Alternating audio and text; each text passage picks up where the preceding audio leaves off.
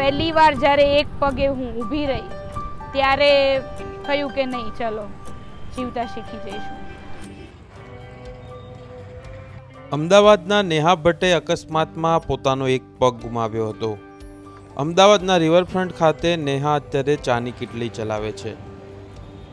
એમ પ્યુ tea stall મેં ચાલુ કર્યું છે રિવરફ્રન્ટ પાસે અને એમપ્યુટી એટલે કે જે લોકોના હાથ અથવા પગ કાપવા પડ્યા હોય એવી વ્યક્તિ, એટલે હું છું એમ્પ્યુટી નેહા ભટ્ટ. જુલાઈ બે હજાર એકવીસમાં મારો એક રોડ અકસ્માત થયો. રોડ અકસ્માત એટલે કે હું એસટી સરકારી બસમાં હતી અને સરકારી બસના ડ્રાઈવર એ પાછળ ટ્રકની સાઈડમાં મારી બસને ટક્કર મારી. બસનો ખાલી હું જે ભાગમાં બેસી હતી એ ભાગ ચીરાઈ ગયો. સીટની સાથે આખી ઊંઘમાં જ નીચે પડી. નીચે પડી એટલે મારો લેફ્ટ સાઈડ આખો ડેમેજ થયો. આ મારું ફેસ તમે જોઈ શકો છો. પચીસ ટકા બે ભાગમાં વહેંચાઈ ગયું હતું. આખા ફેસ પર પચીસ ટકા હતા. પ્લાસ્ટિક સર્જરી થોડી કરવાના કારણે આ બધું સાફ થઈ ગયું છે. આટલું જ મારું હવે બચ્યું છે. રિકવર થવાનું જે મને ધીરે ધીરે ધીરે રિકવર થઈ જશે. ખભા પર ફ્રેક્ચર હતું. પગ પહેલાં આટલો જ કાપવામાં આવ્યો હતો. પછી ઇન્ફેક્શન વધતું ગયું. હું કોમામાં જતી રહી. સોડિયમ લો થતું. હું ગાંડી થઈ ગઈ. એના લીધે પછી આટલો વધારે પગ કાપવો પડ્યો અને ફાઇનલી હું એંસી ટકા વિકલાંગ બની છું ગયા વર્ષે. જે નેહા રાત્રે બાર વાગે ભૂખ લાગે તો બાર વાગે એક્ટિવા લઈ નાઇટ ડ્રેસ પહેરીને બહાર જતી રહેતી નાસ્તો કરવા. એ નેહા હવે બાથરૂમ જવા માટે દસ પગલાં બી નથી ચાલી શકતી. તો એ સમય મારા માટે બહુ જ ખરાબ હતો. સિવિલ હોસ્પિટલના બેડમાં સંડાસ, બાથરૂમ, ઉલટી બધું જ હું ત્યાં જ કરતી.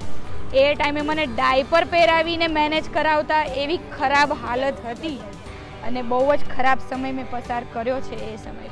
બહુ બધું વિચાર્યું, લોકોએ બહુ બધા પોતપોતાના ડિસિશન આપ્યા અને પછી છેલ્લે ફાઇનલી એવું વિચાર્યું કે હું મારી જાતે કરી શકું એવી એક જ વસ્તુ છે ચા. જે હું ચા મને બહુ ભાવે બી છે. બનાવતા શીખો તમે તો કોઈ બી વસ્તુ અઘરી નથી. તો હું એકવાર ખરાબ બનાવીશ લોકો નહીં પીવે. બે વાર બનાવીશ નહીં પીવે. પણ ત્રણ ચાર વાર બનાવીશ ચા.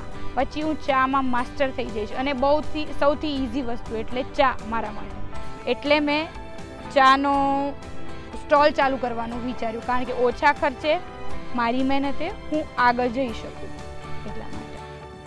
લોકો સોશિયલ મીડિયા પર નેહાબેનની ચા વિશે જાણીને દૂર દૂરથી ચા પીવા માટે આવે છે. અને ચા બહુ સારી લાગી. મારા દરેક જણાને કહેવું છે કે હરતા ફરતા રિવરફ્રન્ટ ઉપર આવો તો નેહાબેનની ચા જરૂર પીજો. ચાની જોડે મનોબળ સો ટકા ફ્રી છે. આજે છ દિવસ થયા છે ને છ દિવસે હું બહુ જ ખુશ છું. કે મેં હાઈએસ્ટ એકસો સિત્તેર ચા વેચી અને મારી ખુશીઓને ડબલ બનાવી અને મારી હિંમત મેળવી છે. લોકોને એવું કહીશ કે હાર નહીં માનવાની.